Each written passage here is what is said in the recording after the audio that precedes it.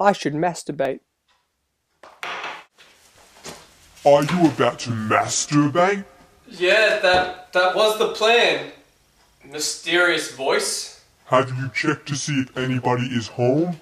And are all the doors locked? Well, no. Maybe you should.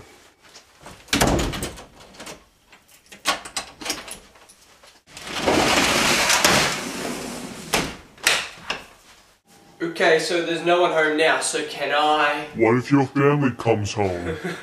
Come? Yeah, come. Maybe you should text them. okay.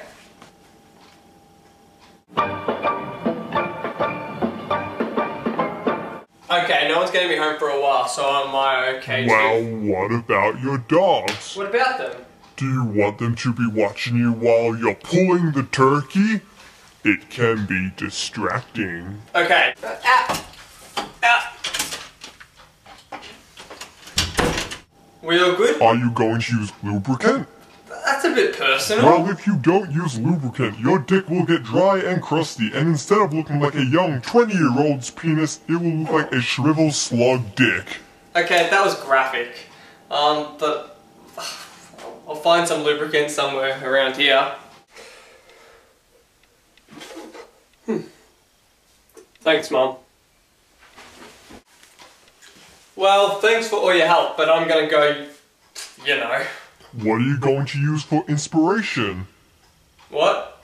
Well, how are you going to start your engine? Huh? Well, do you want your mind to wander? You could think about your grandma, or your mom, or your ex. No, you don't want to think about your ex. She was a bitch. Maybe I could get a magazine. Whoa! Thanks! You're like a porn god. so can I go Go ahead, have fun, and remember, aim down. And remember, kids, masturbating is a privilege. Great kings and pharaohs of past have been doing it since the dawn of time. God himself blew his load, thus creating man. It says that in the Bible.